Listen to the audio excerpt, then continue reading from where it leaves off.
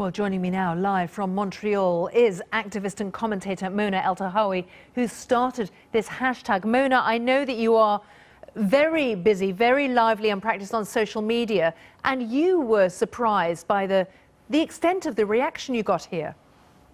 Um, I was, Philippa, because I've been speaking out about my own sexual assault during Hajj. It happened in 1982 when I was 15 and I went with my family for the first time. And I spoke about it in 2013 on Egyptian television. I spoke about it, I wrote about it in my book, and I wrote about it last year on Twitter uh, at the start of Hajj, so I could warn, you know, my Muslim sisters, I said at the time.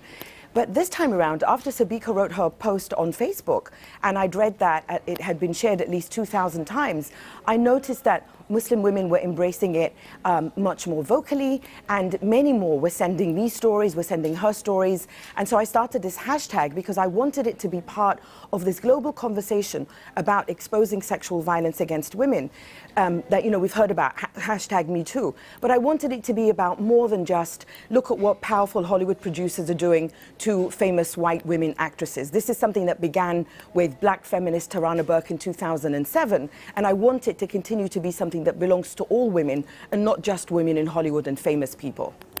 Mona, we asked um, the Saudi Arabian embassy here in London for a response. Interestingly, this is what they, they said to us, that the Kingdom of Saudi Arabia condemns all assaults of, of any kind on men, women or children and wishes to state unequivocally that any sexual or physical assault, especially during the performance of the most sacred pillar of Islam, is categorically unacceptable and contrary to the teachings of our faith. What do you make of that?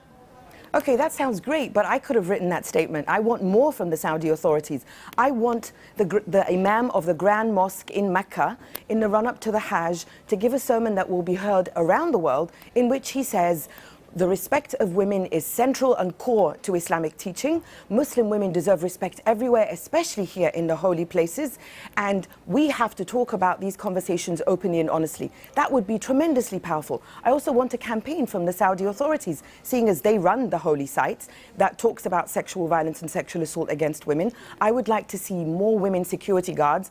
From my experience going to Hajj, and I've been four times, and I've been many other times to the holy places, all the women there do is just yell you to cover up. And I also want Saudi policemen, because I was sexually assaulted by a Saudi policeman, to know that they will face accountability and not just be able to behave this way with impunity. So I want, I want more than words from the Saudi authorities. I want action. I want to hear from them that they hear Muslim women, they respect Muslim women, and they will be determined to keep sexual violence against Muslim women at a minimum. I understand that this isn't something that is going to end tomorrow, which is why I began this hashtag, because I want to alert my Muslim sisters that this is possible. But I want more than just words from the Saudi authorities.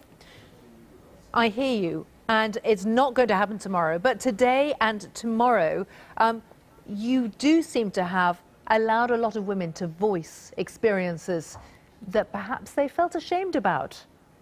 Yeah, I think it's, it's, it's a really toxic mix, Philippa. I think that, you know, any woman anywhere around the world feels ashamed and um, there's a lot of taboo associated with sexual violence. But when it comes to Muslim women, we're caught between a rock and a hard place. We've got Islamophobes and racists on one side who want to demonize all Muslim men and want to weaponize our stories. And I tell them, I am not your friend and you are not my allies. You don't care about Muslim women. And I've got a Muslim community that wants to silence us because they want to defend Muslim men at all costs. And I tell them, in the choice between the community and what the way that we look, I will always choose Muslim women. My choice will always be with the sister. So this complicates the, the feelings of shame, the feelings of violation. You know, when I was 15 years old and I went to Hajj for the first time, it's an overwhelming feeling to be in the holy places. I was 15 years old. I had never been sexually assaulted anywhere. And to have it happen when I'm performing the fifth pillar of my religion at the holiest place for my religion was a horrendous violation.